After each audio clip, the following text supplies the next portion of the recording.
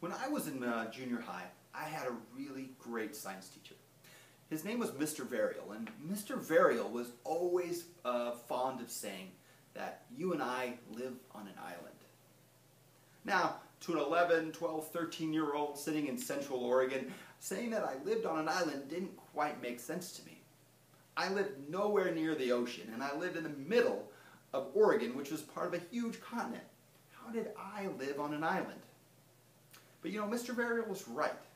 The further along I got, I've been able to look back, and he's right. We do live on an island. The Earth is an island.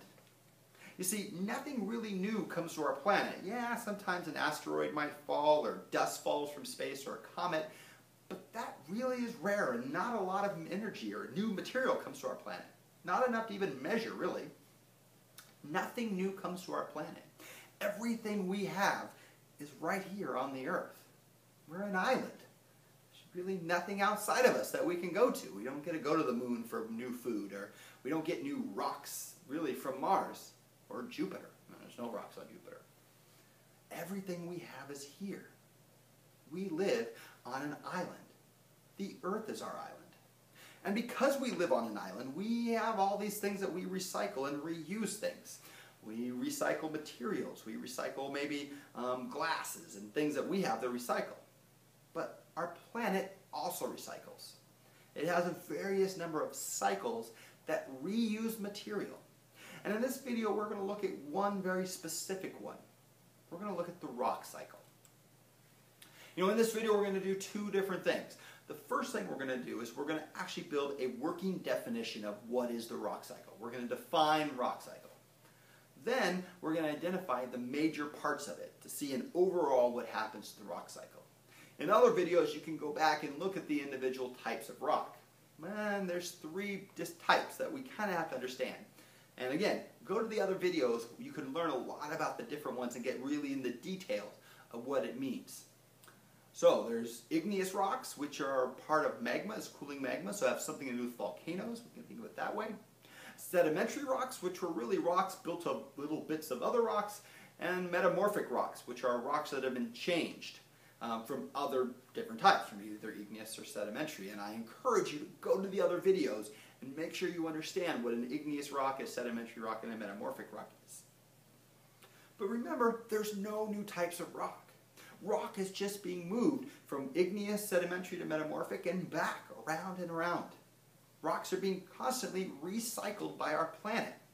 And that recycling is what we call the rock cycle. And our definition is going to be the process by which one rock is type is changed into another. The process by which one rock type is changed into another.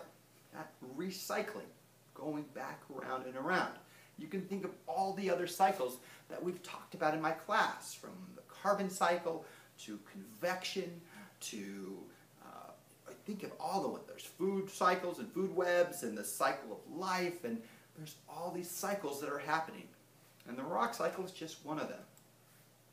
So let's look at the rock cycle, and we're going to start with the igneous, because most rocks on our planet are igneous. Um, an igneous rock, and let's start, just for the sake of argument, to, to make it easier to understand, we're going to start with granite.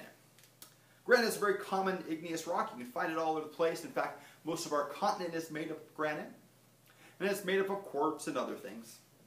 But eventually, granite comes to the surface. It forms inside of a volcano, and eventually it makes it to the surface.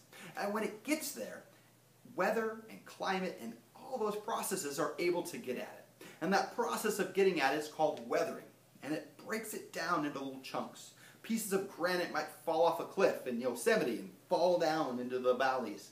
It might break off in ice and form into little bits. And over time, those little bits are weathered into even littler tiny pieces of sediment.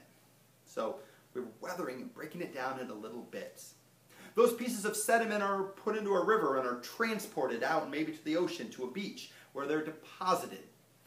As they're deposited, they start to build up. So we've got, we started with an igneous rock and now we have these little bits of sand that are being piled on top of each other. Over time, that sand is going to start to get compacted. Think of it as it's building up, more and more is pushing down on it. And as it's starting to be compacted, you're going to get a sedimentary rock. We've gone from igneous to sedimentary. Now, a sedimentary rock also could be weathered and you can get this cycle around and around because all rocks on our planet are subject to weathering. But let's just say that sedimentary rock, it's on a continental plate which is being moved around by plate tectonics and eventually, because like all rocks, it's going to, um, well eventually the rocks, the continents are going to collide into each other. That collision is going to add heat and pressure. When heat and pressure are applied to rocks, it changes them. It makes minerals align up to each other. It changes the way the rocks look, and it forms a new type of rock, a metamorphic rock. So we've gone from igneous to sedimentary to metamorphic. Now, those continents don't just stop moving when they collide, and eventually all rocks on the surface are subducted. And subduction pulls rock deep into the earth. When it's pulled deep into the earth, it's really warm, and that heat begins to melt the rocks. In melting it, it forces the uh, magma up into a volcano, where it will cool and form a brand new igneous rock, and the whole cycle starts over again. The earth has recycled rocks. Now, like so much in science, it's really not that simple. And nothing really works that easily. You could take an igneous rock, and you could put heat and pressure to it and form a metamorphic rock. And you'd have your own little tiny cycle there. You could take a metamorphic rock and you could weather it. As a result, that weathering would create a sedimentary rock. Now, it is kind of hard though, and actually I would argue impossible to take a sedimentary rock and turn it into an igneous rock. Because in melting it, eventually, for some amount of time, you're going to make it into a metamorphic rock. So I'm not going to add that. Though sometimes when you look on the internet or textbooks, you might see where people turn sedimentary rock into igneous rock. And I would disagree with that. But you can see that the Earth is recycling all our material. It's changing everything back around. It's reusing it over and over again through these loops, the rock cycle. So what did we do in this video? Well, we did two things. First thing we did is we defined the rock cycle. And we said that the rock cycle is the process that the Earth turns one rock into another rock. It's recycling rocks. And then we identified the major type, parts of the rock cycle, how an igneous rock or any rock could be weathered and deposited to form a sedimentary rock, which could be changed from heat and pressure to a metamorphic rock, which then could be subducted and melted, and then finally cooled to form an igneous rock. And that there's a little bit more complicated than that.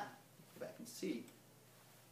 So let me remind you how these videos work. You can always hit pause if I'm going too fast or go back and watch it again.